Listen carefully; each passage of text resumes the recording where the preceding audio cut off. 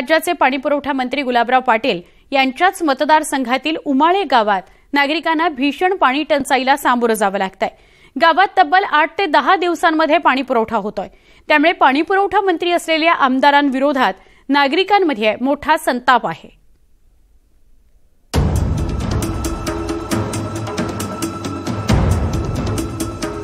स्वतःला पाणीवाला बाबा म्हणून घेणाऱ्या पाणी पुरवठा मंत्री गुलाबराव पाटलांच्या मतदारसंघात पाण्यासाठी लोकांची वणवण सुरू आहे.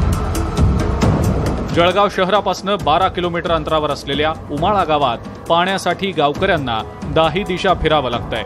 उमाळेकरांना वाघूर पाणी योजनेतनं पाणी मिळतं पण त्याचं योग्य नियोजन नसल्यानं उमाळेकरांना आठ ते दहा दिवसातून एकदाच पाणी मिळत आहे आमच्या गावामध्ये पाण्याची नेहमी टंचाई राहते. आम्हाला ना कधी बारा महिन्यामधून असं एक दिवसाआड सुद्धा पाणी येऊ शकत नाही.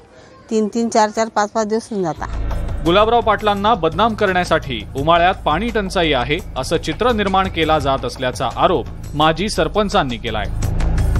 गैरसमज लोक करत आहे.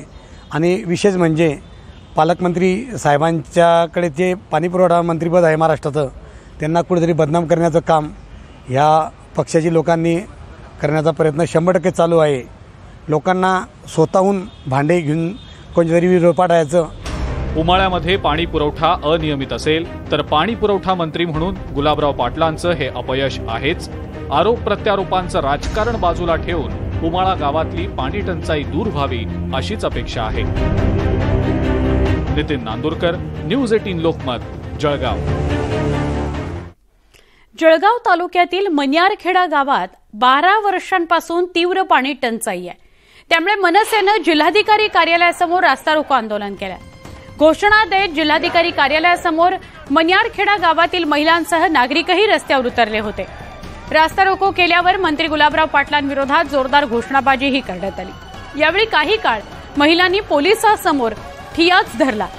तसंच पाणी प्रश्न न सुटल्यास भविष्यात गुलाबराव पाटलांविरोधात आंदोलन छेडू असा इशारा ग्रामस्थांनी दिला आहे.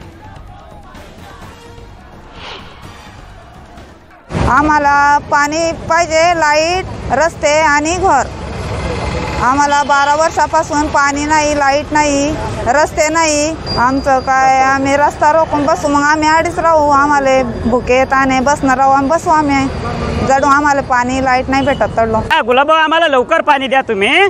त्याच्याशिवाय हा इलाजच नाही नाहीतर पाच दिवसात आणखी परत सांगतो ना पोलीस प्रशासनाचे आम्ही परमिशन घेणार आहोत. गनिमी कावा मोठा करणार आहोत गुलाबभाऊ आणि रास्ता रोका आंदोलन. हे तुम्हाला सुद्धा कळणार नाही. काही नुकसान झालं तर त्याला प्रशासन आणि गुलाबराव पाटील जबाबदार राहतील. पाऊस लांबल्यानं सध्या महाराष्ट्रातील अनेक भागात पाणी टंचाई जाणवते पण नांदेड जिल्ह्यातील एका गावाला मुबलक पाणी असतानाही मागील तीन वर्षांपासून पाणी टंचाई